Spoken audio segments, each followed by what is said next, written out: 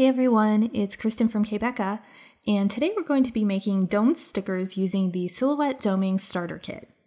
Doming involves using a two-part epoxy resin to add a clear dimensional area to the stickers, and this kit has everything you'll need to make domed stickers. Included in the kit are three sheets of white sticker paper, three sheets of clear sticker paper, three doming laminate sheets, 2 ounce bottles of both parts of the epoxy resin, a mixing syringe, 3 syringe tips, 10 toothpicks to help you move the epoxy around, and a card with a code for 10 exclusive designs. The kit includes an instruction sheet that I have out here, and it's kind of helpful, but I feel that it leaves out some important points. This will actually be my third try at making domed stickers, so I'll be sharing some tips that I learned during my first two tries, and I hope they'll help you have successful results your first time around. I have the package of doming sheets and sticker sheets that are included in the kit. The doming sheets are only needed if you print your stickers on the white sticker paper, since the epoxy will soak through the white sticker paper. The clear sticker paper is a lot like the doming sheets in that it's made of a non-paper material and the epoxy won't soak into it. The second time that I tried making domed stickers, I actually used the clear sticker paper as a doming sheet, thinking that they might be interchangeable, but they're not. The clear sticker paper is much thicker, so when I added it on top of the white sticker paper, I had a hard time cutting through both layers. Also, when the clear sticker paper is adhered on top of the white sticker paper, it has a bit of a textured look. It's not necessarily bad, but the doming sheet gives the stickers a smoother look that I personally prefer. The two part epoxy is part A in the bottle with the blue label, which is the base, and this part is pretty thick. Part B is in the bottle with the black label, and this is the hardener, so the epoxy will set and cure properly. This part is much thinner than part A. The kit also includes three syringe tips, and I think that these are single use only because I really don't know how you could effectively clean them out after use. If you have any tips about that, please let me know in the comments. I also want to mention that Silhouette has an epoxy resin set that's sold separately. This includes a syringe, syringe tips, and the two part epoxy resin. You can also purchase additional doming laminate sheets in packages of 8 sheets. The epoxy resin set retails for $19.99 and a package of 8 doming laminate sheets retails for $6.99. The doming starter kit retails for $39.99, so if you already have sticker paper, you can build your own starter kit with the epoxy resin set and doming laminate sheets, grab some toothpicks, and save yourself a little bit of money.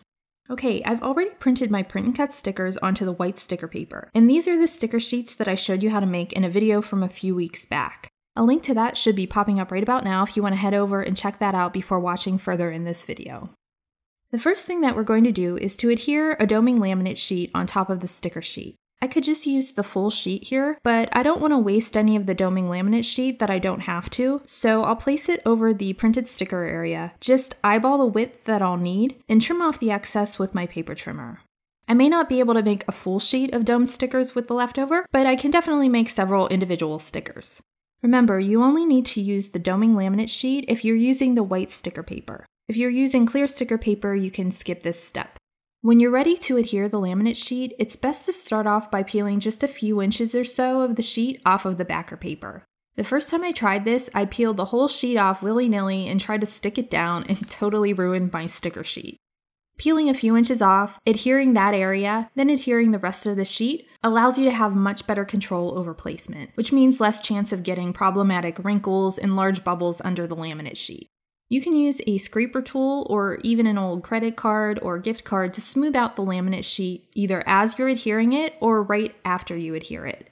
This helps remove any small bubbles and also helps the sheet to adhere more solidly to the sticker paper. Next, we're going to cut our stickers. So I'll place them on a mat, and I like well-used, less sticky mats for stickers because the sticker backer paper will sometimes be difficult to remove if you use a new mat. I'll load the mat and close the lid of my machine, then I'll head over to my computer where I have the print and cut file open, and I'll send the file to the machine to cut. In the instruction sheet that's included in the kit, it says to increase your blade depth by 1 from what you'd normally use to cut stickers, since you also have to cut through the doming laminate sheet. But I found that I needed to increase my blade depth by 2 to get a clean cut. If you have a new blade, a depth increase of 1 may work well, but my blade isn't new, so I needed to increase it by 2. I cut these with a blade depth of 4, a force of 20, and a single pass. Before I unload the mat after the sticker sheets are cut, I want to check and make sure that things cut out cleanly. This way, if I need to do another cutting pass, I can easily do that. Everything looks like it cut out great, so I'm going to unload the mat and remove the sticker sheets from it. According to the instruction sheet that comes in the kit, next we're supposed to weed away the excess material from around the stickers, so only the stickers are left on the sheet. I think that we're instructed to do this so we won't risk getting epoxy in the area between the edge of the sticker and that material that we're weeding out because that would cause problems. After weeding away the excess material, I'll set the sticker sheet aside and now it's time to fill the syringe with the epoxy. Grab a paper towel for this and also something to protect your work surface if needed. I have a silicone craft mat underneath everything. I've got the empty syringe here and I'll pull the plunger out. You have to give it a pretty good pull at the end there so it comes out the whole way. First, I'll add part A of the epoxy to the A side of the syringe. I've got the plastic nozzles that come in the kit on the bottles, and part A is very thick and hard to squeeze out of the bottle, so I found that it's better to just remove the nozzle if you've got it on the bottle and pour this right into the syringe. It goes much faster this way. I filled the syringe about three quarters of the way full. Now I'll do the same with part B of the epoxy. This part is much thinner than part A, so it's easy to squeeze out of the bottle and into the syringe. After the other side of the syringe is filled, I'll grab the plunger and push it to snap it back into the syringe. Next, I'll hold the syringe plunger side down and twist the pink cap, then remove it from the other end of the syringe. Then I'll come in with one of the syringe tips, fit that down into the area where the pink cap was, and twist it to lock it into place. I'll grab a piece of scrap cardstock and prime the syringe by squeezing out some of the epoxy onto the cardstock. This is to make sure that the syringe will apply an even amount of part A and part B when we add it to the stickers. I'll squeeze out enough to make a little puddle that's about an inch or so in diameter. I've already mentioned a couple of times that part B of the epoxy is much thinner than part A. If you need to sit the syringe down at any point, be sure to have the tip elevated when you do, or the epoxy will start running out and onto your work surface. I just take one of the epoxy bottles and place the syringe on it with the tip elevated, and this works well to keep any epoxy from running out. I'm actually going to need to move my sticker sheet when I'm done adding the epoxy, so I'm going to put it onto the back of a pad of paper so I'll have a stable surface that I can move around easily when I'm finished. And I'll use the backer paper from a doming laminate sheet as a buffer between the sticker sheet and the back of the paper pad because if I accidentally get epoxy on the yellow sticker sheet backer paper, it will soak through and I don't want to get epoxy all over the back of my paper pad. I'll squeeze out some of the epoxy onto the first sticker, starting around the edge of the design a little bit away from the edge and working my way inward. I'm sorry that my hands are in the way here, so you can't really see what I'm doing. This process is actually kind of like using royal icing to ice a cookie. You want to build a little protective wall of epoxy around the design first, then fill in the center. Next, I'll come in with a toothpick and move the epoxy around if necessary. You want to make sure that you're actively pushing the plunger down on the syringe as you work, so even amounts of both parts of the epoxy will be applied. The first time I tried this, I made the mistake of not thinking about what was happening when the epoxy was easily running out of the syringe. Since part B is so much thinner, that's what was running out, and the epoxy in many areas of the stickers never cured because there was little to none of the other part of the epoxy applied. So just make sure you're actually pressing the plunger as you work to get the thicker base part of the epoxy out of the syringe. If you notice that you're getting some bubbles in the epoxy, you can use the toothpick to try and work the bubbles out. Or you can come in with a heat tool, which will instantly pop most bubbles. The downside of the heat tool is that it can blow the epoxy around and possibly off the edge of the stickers.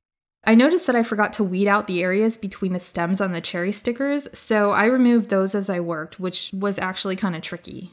After I finished adding epoxy to all of the stickers, I noticed that using the heat tool for bubble removal did blow some of the epoxy slightly off of the edges of some of the stickers, which means that the epoxy will soak through, and those areas will be a darker color on the yellow backer sheet. This is purely an aesthetic thing and won't affect the stickers, but if you'll be giving the whole sticker sheet as a gift or something, just be aware that this can happen and try to maybe stay further in from the edges when you're applying the epoxy to avoid getting epoxy stains on the backer paper. I'll move the sticker sheet aside for now, and let's talk about storing the syringe with the epoxy in it. The first time I made domed stickers, I had no idea how to store the syringe, and there isn't anything about it on the instruction sheet in the kit. I googled around and wasn't able to find any helpful info about it, so I just left it out with the syringe tip on it, which wasn't a good idea. After about 24 hours, the epoxy started to crystallize in the syringe, and I had to dig it out with a popsicle stick and refill with fresh epoxy. I changed out the syringe tip with a new one and used the syringe a second time, but there were lots of bubbles in the epoxy when I did. I used a new syringe this time around, and when I was finished with it, I pulled the plunger out a little bit to put some air between the epoxy and the bottom of the syringe. Then I turned it plunger side down and removed the syringe tip. A little bit of epoxy might bubble out when you do this. If it does, just use a paper towel to clean it up as well as you can. Then insert the pink cap into that area and twist it to lock it closed. I've been storing the syringe plunger side down for several days like this, and there's no sign of crystallization at all, so I think that this is the correct way to store it. It might be common sense to store it like this, but I was confused about it at first and wanted to mention it just in case any of you might be wondering about this too. Okay, I'll let my stickers cure and harden for about 24 hours. The instructions in the kit say 12 hours, but I've found that this isn't enough time sometimes. The amount of time needed will probably vary depending on the temperature and humidity levels where you're at. Alright, it's about 24 hours later, and before I peel any of the stickers from the sheet, I'll first sort of carefully feel around to make sure that the epoxy has cured and hardened. I'll zoom in here so you can see some of the areas where I accidentally blew the epoxy off the edge of the sticker when I was using the heat tool to get rid of bubbles. The epoxy soaks into the backer paper and almost looks like a grease stain, but again, it doesn't affect the stickers. Also, in small thin areas like the cherry stem area here, it's really hard not to get some excess epoxy inside those areas.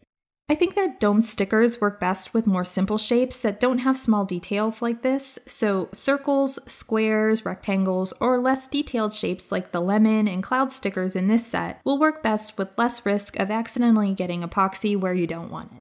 But the stickers themselves are really cool. I love the dimension that the epoxy adds. It really makes the stickers special. Even the teeny little lemon here turned out really well. This is just such a fun look, and while I don't think that I'd recommend something like this for DIY mass production unless you're working with really simple shapes like circles or squares, it's great for making several stickers or a few sticker sheets at a time as special gifts or stickers that you can use to embellish craft projects, envelopes, and letters. You can find a full list of supplies used in this video in the description area below or in the area below the video if you're watching on kbecca.com. I hope that you found this video to be helpful, and if you did, it would be great if you'd give it a thumbs up and consider subscribing to my channel. Thanks for watching, and I hope you'll tune in again soon.